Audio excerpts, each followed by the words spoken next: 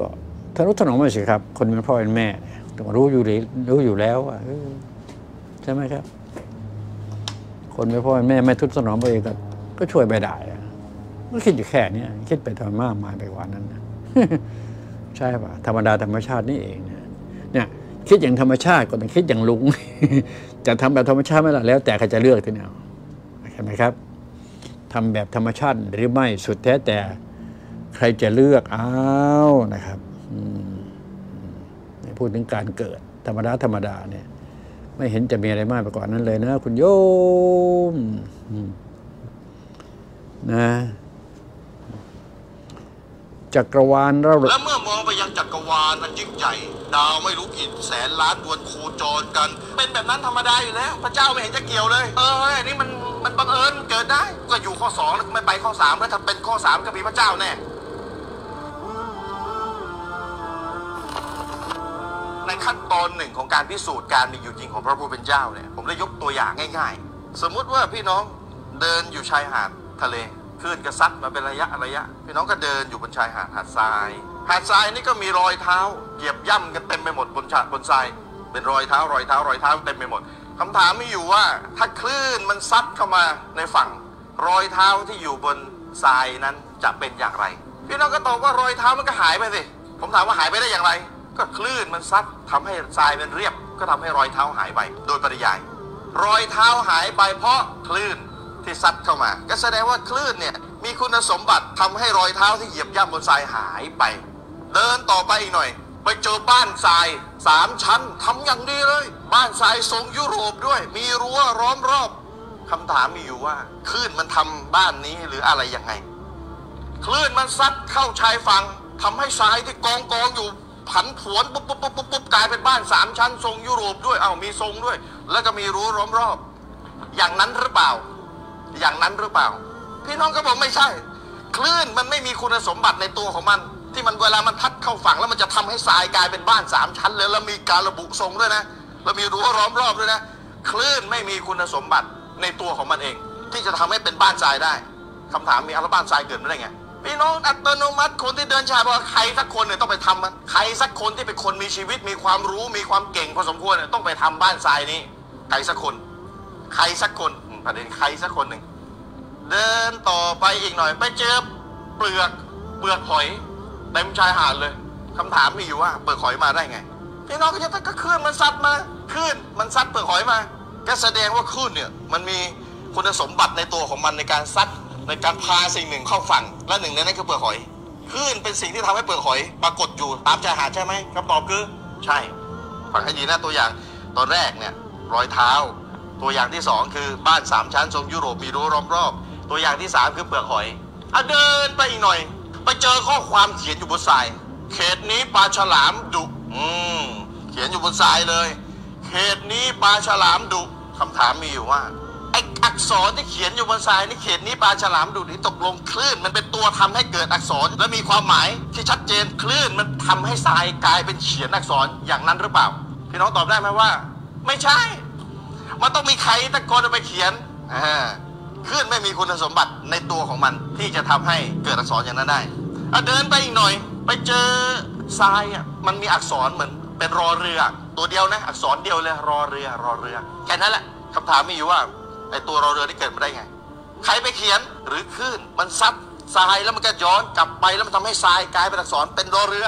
พี่น้องก็บอกเออ มันมีความเป็นไปได้ว่าทรายมันจะทำเพราะมันตัวเดียว เพราะฉะนั้นคนที่พิสูจน์การมีอยู่จริงของพระผู้เป็นเจ้าเนี่ยเขาจะมี 3 สิ่งด้วยกัน ภาษาอังกฤษเขาเรียกว่า physical necessity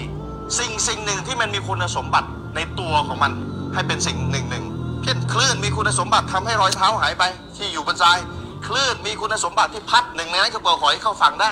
มีคุณสมบัติโดยตัวของมันเอง อันนี้ไม่มีปัญหา มันมีคุณสมบัติในตัวของมันเองแล้ว ข้อที่สอง chance บังเอิญบังเอิญไออักษรรอเรือเนี่ยที่คลื่นพัดเข้าฝั่งแล้วทรายมันไปกลายเป็นอักษรรอเรือเนี่ยอักษรเดียวนะคำถามมีอยู่ว่าเป็นไปได้ไหมคลื่นคลื่นมันทำให้เกิดอักษรรอเรือ โดยพัดเข้าฝั่งแล้วมันก็ทิ้งพัดลงไปแล้วมันทำให้ทรายกลายเป็นอักษรรอเรือเป็นไปได้ไหมอักษรเดียวนะเป็นไปได้ไหม เป็นไปได้เป็นไปได้ นี่คือข้อที่สองคือ chance ต่างกับข้อที่หนึ่งนะข้อที่หนึ่งเนี่ยคือชัวร์เลย มันมีคุณสมบัติในตัวของมันเองเลย กับไอ้ข้อที่สองเป็นไปได้อาจจะ ข้อที่สามดีไซน์มันต้องมีผู้ออกแบบผู้วางระบบผู้จัดการมันไม่เป็นบังเอิญไปได้ และมันไม่มีคุณสมบัติโดยตัวของมันที่จะเป็นแบบนั้น ข้อที่ 3 จะเป็นดีไซน์ออกแบบ การออกแบบการวางระบบการจัดการ ก็เหมือนตัวอย่างที่ผมยกไป บ้านสามชั้นทรงยุโรปมีรั้วล้อมรอบ นี่คือข้อที่ 3 มันเกิดเองไม่ได้คลื่นไม่มีคุณสมบัติทำให้เกิดบ้านสามชั้นทรงยุโรปมีรั้วล้อมรอบไม่มี และก็ไม่มีความบังเอิญบังเอิญคลื่นซัดมาแล้วทรายเป็นบ้านสามชั้นบังเอิญก็ไม่มี และก็อีกตัวอย่างนึงคือ เขตนี้ปลาฉลามดุก็ไม่บังเอิญคลื่นก็ไม่มีคุณสมบัติ ไม่มีคุณสมบัติโดยตัว ที่จับซัดมาปุ๊บกลายเป็นประโยคนั้นเลย ไม่มีคุณสมบัติในตัวของมัน พวกที่ปฏิเสธพระเจ้าเนี่ยจะอ้างสองข้อแรก ถ้าข้อแรกไปไม่รอด อ้างข้อสองหมายความว่าไง เอ้ยไอเนี่ยมันมีคุณสมบัติในตัวของมันมันก็ต้องเป็นแบบนั้นธรรมดาอยู่แล้วพระเจ้าไม่เห็นจะเกี่ยวเลยอ้างข้อแรกเวลาเราเอาตัวอย่างที่มันชัด พวกที่ปฏิเสธพระเจ้าเอ้ยอันนี้มันมันบังเอิญเกิดได้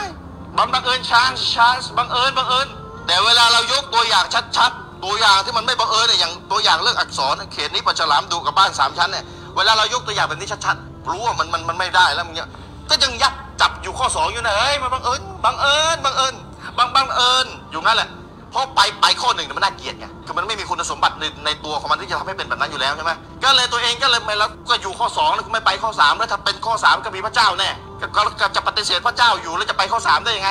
ก็เลยต้องจมอยู่กับข้อที่สองก็คือบังบังเอิญบังเอิญบังเอิญบังเอิญอยู่นั่นแหละ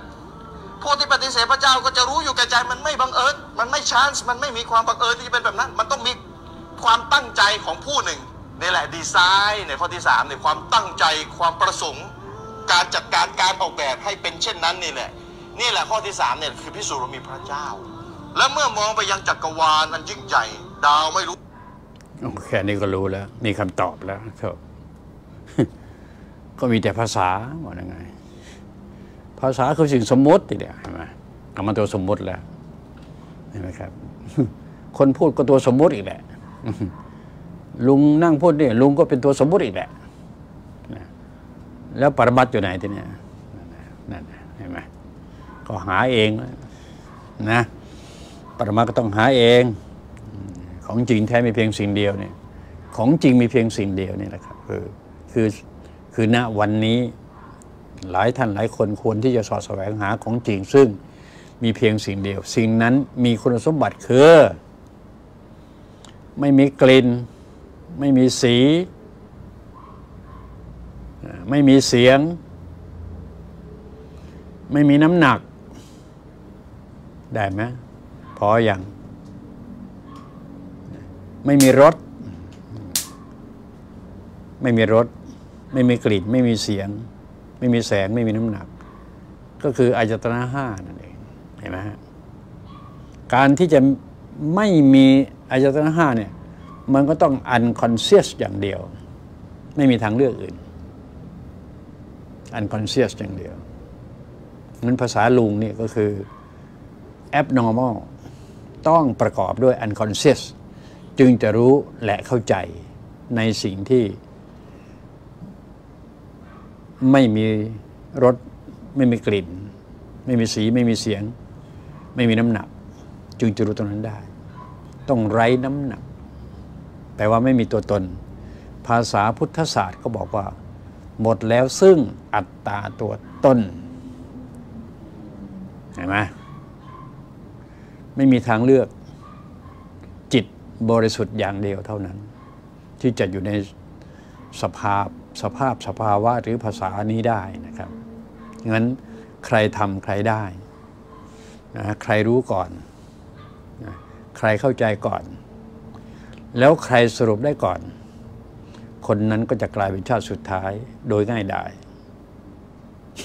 ดีไหมพี่ ชาติสุดท้ายนะ งั้นชาติปัจจุบันนี้ ไม่มีหาให้มี ไม่พอหาให้พอ สิ่งนั้นคือของอยู่ของกินของใช้และของเก็บ ชาติปัจจุบันนี้ แปลว่าต้องทำงานเนาะทำให้ได้ เมื่อเต็มแล้ว มีของอยู่ของกินของใช้ของเก็บตลอดชีวิตแล้ว บอกรับขนาดนี้ดี เราใช้ในสิ่งนั้น ส่วนที่มันเกินได้มาอยังไงก็ไม่รู้ละอยู่ๆก็ได้รับบรดกพันล้านจะแจกจ่ายให้ใครบ้าง หน่วยก็ดีเหมือนกันหรือจะห่อไปด้วยก็ตามใจ เมื่อเวลาสิ้นชีพแตกใสแล้วก็ห่อไปซะอยากได้นะเอาไปเยอะดีไหมพี่คำพูดอย่างนี้ถามว่ามีใครเนาะสักกี่คนในโลกเนี่ยจะคิดได้และสรุปได้ นะนะ ผมว่าคุณอันนั้นก็คิดได้แล้วนะ ใครล่ะ Microsoft ใช่ไหมล่ะผมว่าเขาคิดได้แล้วนะมีทุกอย่าง จะอยู่ยังไงกินยังไง มีทุกอย่าง เขาจึงเอาส่วนเกินในชีวิตจริงเขาเนี่ย ให้ใครก็ได้สักวันลุงจะไปขอเขาเอาความสามารถไปขอนะ ไม่ขอไม่ใช่ขอแบบนี้นะเสนอตัวไปสิเอ้ยเขาอยากจะช่วยคนใช่ไหมมันแห้งแล้งเหลือเกิน แอฟริกาอย่างเงี้ยลุงก็ทำเรื่องไป จะไปทำให้ฝนตกให้ชื่อคุณเอาไป ผมไม่เอาหรอกชื่อนะครับใช่ไหม เป็นผู้ช่วยเหลือชาวแอฟริกาทั้งหมด อย่างนี้เป็นต้น ดีไหมพี่นะเอาไปเยอะชื่อนะลุงออกไม่มีชื่ออยู่แล้วนะนะแต่ขอสตังค์เอามาทำอะไรอ้าแผ่นดินสยามยังไม่เห็นบอกว่าจนๆ ไม่ใช่เหรอเอามาแจกสิ แจกแข่งใครรู้ไหมไม่แข่งใครอยู่แล้วล่ะ ถ้ามีนะ เดี๋ยวข้าหาว่าไปตีไปตีควบคู่เขาว่าไปโน่นเอ้ขอให้มีอย่างนี้ล่ะลุงเอ้ยนะครับเอาเราสู่กันฟัง พอหอมปากหอมคอนะวันหนึ่งอะไรนะวันหนึ่ง ก็จะรู้ว่าไผเป็นไผประมาณนั้นครับ เอาหลักกลับมาถึงตรงนี้นิดนึงนะฮะกายรู้